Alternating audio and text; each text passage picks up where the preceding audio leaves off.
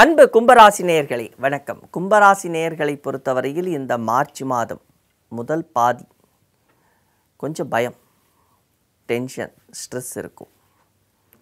அதே நேரத்தில் பங்குனி மாதம் மார்ச் ஒரு பதினஞ்சு தேதிக்கு அப்புறம் வந்து பார்த்திங்கன்னா ஒரு பெரிய விஷயங்கள் நடக்காத மாதிரியும் நிறையா ஒரு சங்கடங்களாக இருக்கிற மாதிரியும் உங்களுக்கு தோணும்.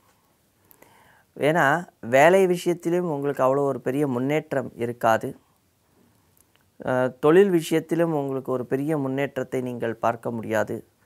இது போன்ற ஒரு சூழ்நிலைகள் நீங்கள் செய்ய வேண்டிய ஒரு விஷயம். மகாலட்சுமிக்கு பூஜை செய்கிறதும் ஸ்ரீ லக்ஷ்மி நாராயணன் பூஜை செய்கிறதும் அவள் கோவிலுக்கு போயிட்டு வர்றதும் விஷ்ணு சஹஸ்ரநாமம் டெய்லி ரெண்டு வேளை கேட்குறதும் உங்களுக்கு சக்தியை தரும். அப்போது இந்த சக்தி உங்களுக்கு நல்ல விதத்தில் நீ உங்களுடைய தொழிலிலும் வேலையிலும் நீங்கள் யூஸ் பண்ணிக்கலாம். காதல் சுமாராகத்தான் இருக்கும். ஆனால் நிதி நிலைமையை பொறுத்தவரையில் உங்களுக்கு திருப்திகரமாக இருக்கிறது. கைக்கு நல்ல பணம் வரும். நல்ல வரவு இருக்குது சேமித்து வைப்பீர்கள். நீண்ட தூர பிரயாணங்கள் செல்வதற்கான வாய்ப்புகள் இருக்கிறது. அதே நேரத்தில் வெளியூர்லேருந்து நல்ல அழைப்பிதழ்கள் உங்களுக்கு வரும். அதனால் வெளியூர் பயணங்கள் மேற்கொள்வதற்கான வாய்ப்புகளும் இருக்கிறது. இதனால் செலவுகள் ஏற்படவும் வாய்ப்புகள் இருக்கிறது. கவனத்துடன் இருங்கள். ஒரு முறைக்கு இருமுறை யோசித்து செய்கின்ற ஒவ்வொரு வேலையிலும் உங்களுக்கு வெற்றி கண்டிப்பாக கிடைக்கும்.